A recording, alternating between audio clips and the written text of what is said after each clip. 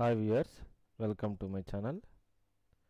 In this lecture, we'll discuss uh, sample Spark project.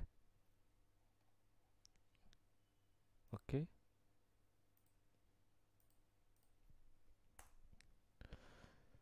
So so far we have seen uh, how to execute uh, individual Spark programs, right? In this demo, we'll discuss how to design end-to-end Spark pipeline. So in the real time also we'll follow same uh, approach. And uh, for this demo, I have created one uh, uh, Spark Scala project. My source will be HDFS file. So in HDFS file, I have copied on CSV that is source for my project. My POC demo will be reading that CSV from HDFS and the process in Spark and uh, again that uh, once the process is done we have to save that uh, target to Hive or HDFS okay? So the main intention of this uh, video is so in real time how how to org organize our code okay? So for for example there are some 10 different types of uh, source uh, in uh, requirement are there are there. For example usually in uh, data warehousing environments uh, there will be facts and dimensions. So if you are processing uh, if you are building dimensions you can give that all dimension related all programs spark transformation programs you can keep as an in one one package. And fact related you can keep in one folder other uh, main method driver related method utilities all this based on your requirement you can create okay? You can create all uh, uh, different num n number of uh, packages. And finally we have to call all this code in main method okay? That we will see in this example. So i have created my poc project. Project name is poc project as i explained earlier the structure will be like this. One project name inside project package will be there. Inside package uh, all the classes uh, objects will be there. Okay? So this is my project structure. So if you see here in my requirement i have i'm considering three uh, i have divided my code into t packages three packages dimension dimensions related uh, programs i am keeping under dimension package driver driver program package. Uh, that is in that i am keeping main method. Utilities i am uh, creating utilities class. In utilities class what usually in a project repeatedly what uh, you will do is uh, what are the, what are the actions you will do repeatedly that you will copy you, you will create in a utility utils class. For example i will explain now what is utils uh,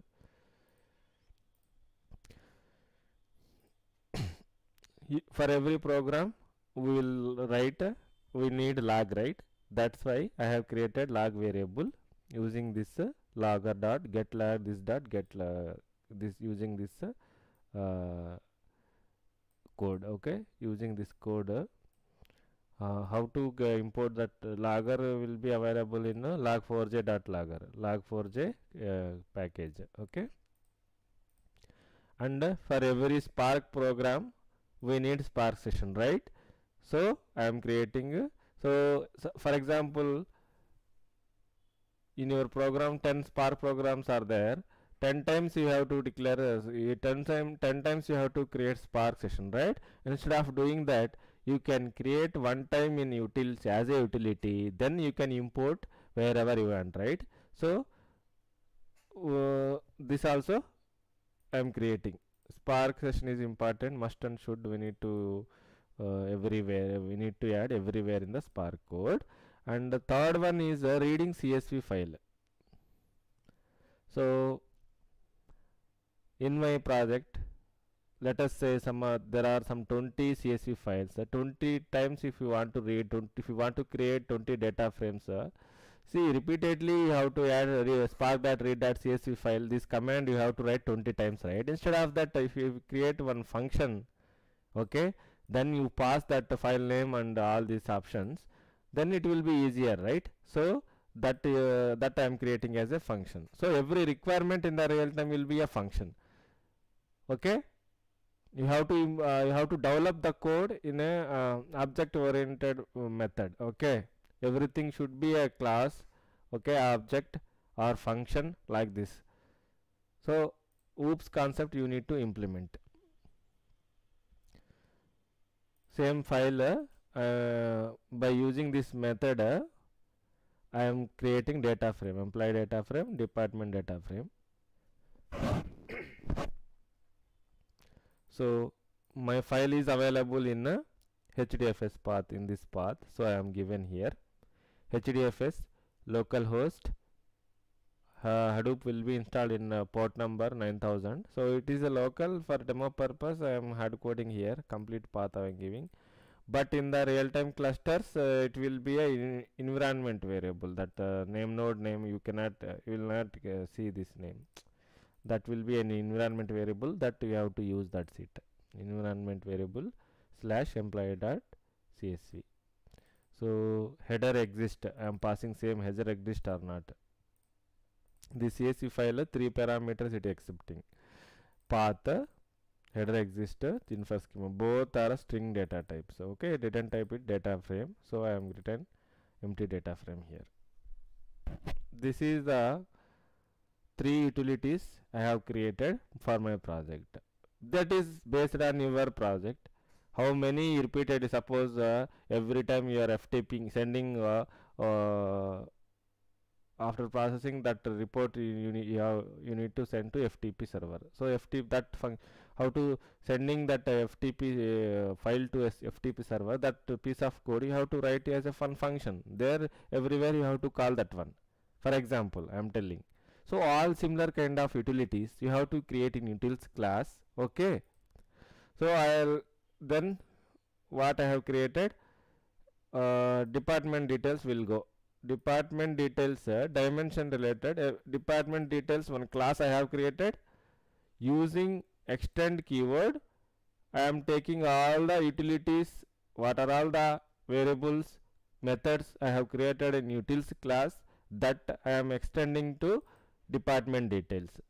So extending why extending? This is inheritance if you want to know more about inheritance I have made a video on inheritance oops concepts okay in the same uh, scala playlist you can go and, and watch okay so in the department details class I'm creating department total function. So it is taking one data frame as a input returning data frame. So just what I am doing here just I want to I am reading from the data frame I am reading employee number department number and manager and returning that department number. This is a demo for exception handling also. Exception handling also. Here every every method you have to every uh, function every class you have to implement a exception handling. Because in exception handling what i am giving? Log dot info i am providing. Because why it is uh, log is useful? Suppose there are number of spark programs you are running and uh, something somewhere job is failed due to some uh, syntax error something job is failed okay? So where is uh, in which line it is failed if you want to track uh, if you have logger if you create a logger like this log.info it will be easy. By seeing that error message okay in in this program in this step that is got failed. Like that you will come to know and go directly you can open and you can fix and uh, that issue again you can rerun. If, if you are not uh, printing that will be again we have to search for that error right? So so log using log info we can uh, we can provide that meaningful information. So in the similar way I have created uh, one more employee details. Uh, in employee details uh, class uh, I have created uh, employee total uh, method in that also same just I'm um, department wise sum of salary I am taking and extra two columns I am populating and displaying department number province total salary state okay? So if something goes wrong in the try section uh, this I am error, I am capturing this error okay? And uh, this method return type is data frame right so I am empty data frame I am returning. Otherwise it will throw some error see if you see. So so I am passing here uh, uh, output is data frame right? So I am passing just empty data, data frame I am creating. So these are the two uh, classes I have created. That I am calling in main method. So if you observe in my previous uh, here we don't have any main method right? Now here we can see main method because this we are going to pass to the spark submit this class okay? Package name dot main method name object name will pass to the spark submit. And this based on the, our uh, argument type so I, I am creating one variable with the job type equal to args of 0 args of 0 means first parameter. And for these two classes I am creating instances okay? That instances and uh, for these two classes we are uh, creating instance. If job type is matching if job type case I am implementing here okay? If job is employee then employee class is I am calling. If job is uh, department department uh, class is I'm I want to execute. If I parameter is all all programs I need to call. So in this way I have designed. In in uh, in real time also in this way only we'll design all our uh, spark data flow okay? So default case uh, something invalid job some you so all this where we have to pass this parameter in spark submit okay? This is the main method. So this main method we need to call in a spark submit okay? So once that code everything is ready so we need to we need to generate jar file right? How to generate jar file? I made a video on that. So we have to go to that project folder.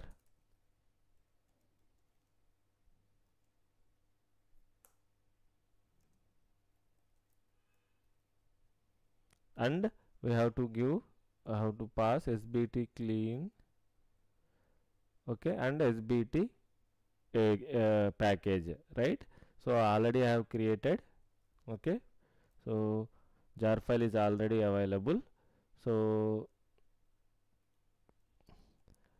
my input is uh, hdfs path right? So we need to i need to start HD, uh, hadoop uh, services. So for that uh, start all dot sh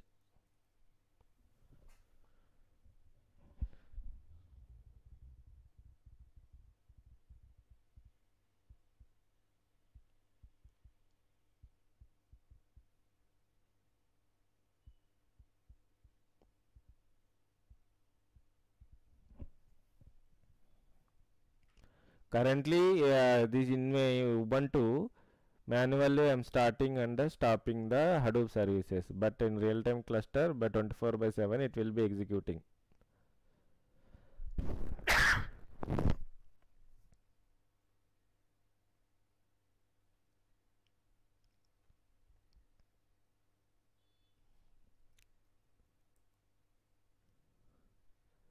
So my name node data node node manager resource manager secondary name node five services are running.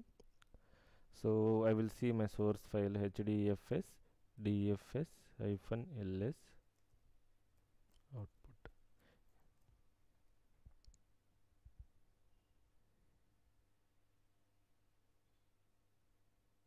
See this is the source for me okay? So this now I will execute spark submit uh, spark submit class uh, I will give this uh, class okay? Driver program dot main method. In that main method what I am calling? All my other other stuff is calling. Master local. I want to execute my local uh, local mode. So and uh, this is complete path of jar file which I have generated okay after jar file you have to pass a parameters. Space jar file space. So I want to pass employee as a parameter emp so suppose for example you want to pass one more parameter space. Suppose 10 you want to pass uh, 10 uh, like that you can you have to pass. For a date and character type double quotations integer not required. We'll see first we'll execute this one. We'll see